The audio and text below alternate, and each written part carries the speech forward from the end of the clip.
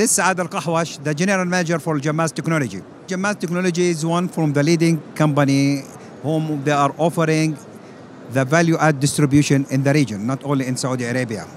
Okay, we are offering a lot of solution like the cloud solution, the IoT, networking, the wireless, the infrastructure, and a lot of any other solution as well. In fact, uh, I got surprised and proud about the great result has been achieved in Leap. In fact, I didn't expect such huge crowd, huge people. Okay, most of the people they are passionate for the physical meeting together.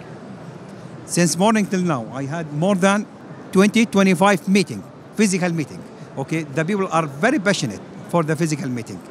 And the great support, the great organization, the great vendor and attendees, the quality of attendees, it's remarkable in that event as well. All of us are looking for the digital transformation to avoid any business disruption for the IT. So we have to be passionate, we have to jibe with all the new technology in order to avoid any business disruption.